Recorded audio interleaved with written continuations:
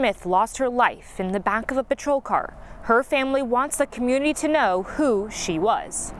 I come to the door and they're like, Where would your sister go? She got arrested around 10 o'clock and her and the police officer are missing. A dreadful end to a Wednesday evening. Nobody deserves to die in handcuffs in the back of a cop car.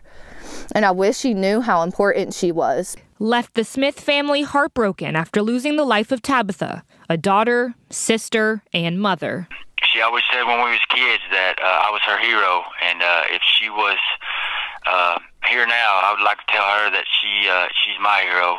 But with sadness comes anger. The way the community has came together for Tabby, um, I can't help but to feel a little anger in my heart because not long ago she was probably hungry.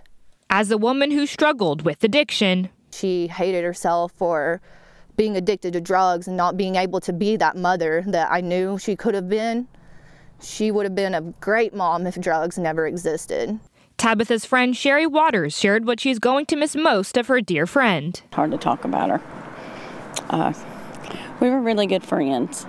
Uh, she's one of those free birds that you meet like once in a lifetime.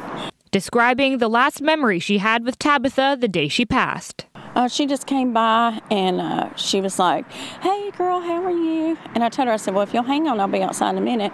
I'll get you a bottle of water because it was a very pretty day.